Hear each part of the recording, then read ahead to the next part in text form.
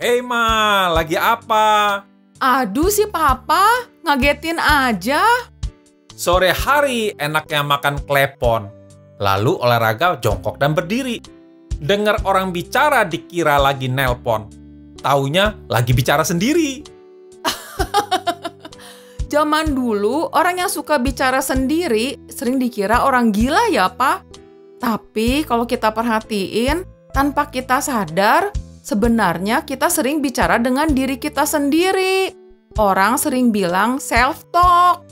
Itu betul, Ma. Self-talk itu adalah dialog dengan diri sendiri yang dipengaruhi pikiran sadar dengan mengungkapkan pikiran, pertanyaan, dan ide yang diucapkan dalam hati atau disuarakan dengan keras sehingga menjadi sugesti bagi diri kita sendiri.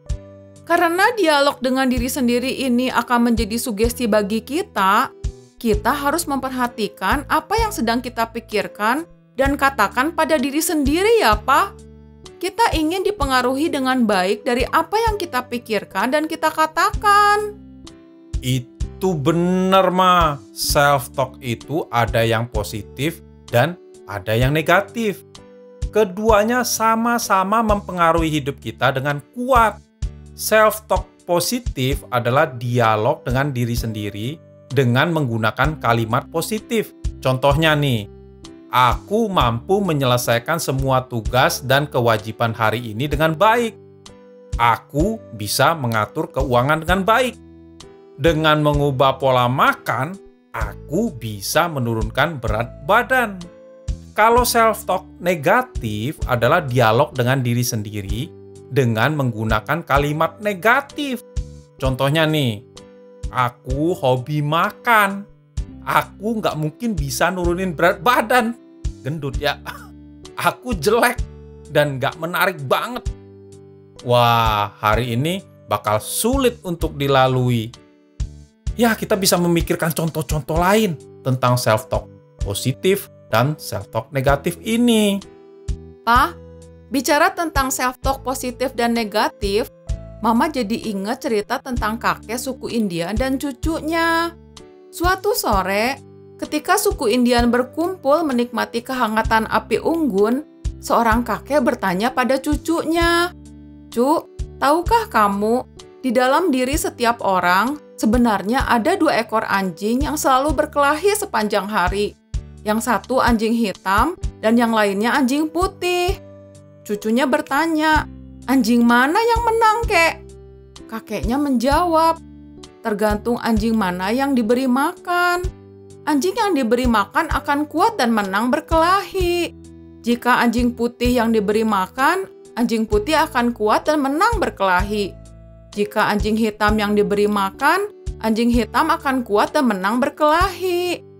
Sebenarnya, anjing hitam adalah pikiran-pikiran negatif dan anjing putih adalah pikiran-pikiran positif.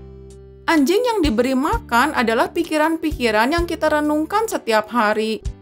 Jika kita merenungkan pikiran positif dan mengatakan hal-hal positif pada diri kita, hidup kita akan baik dan bahagia. Jika kita merenungkan pikiran negatif dan mengatakan hal-hal buruk pada diri kita, kita akan kalah dan menderita.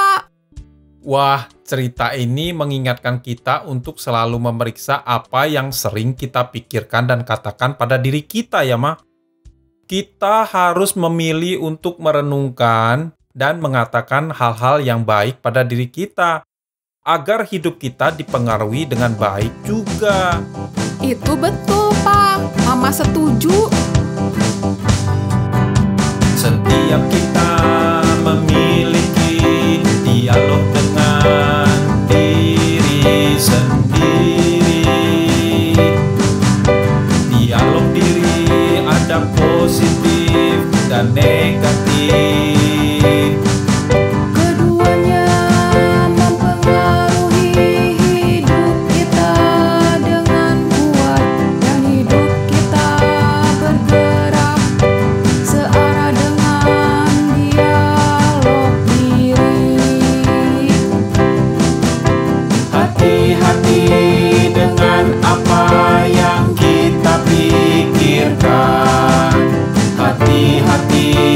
teman apa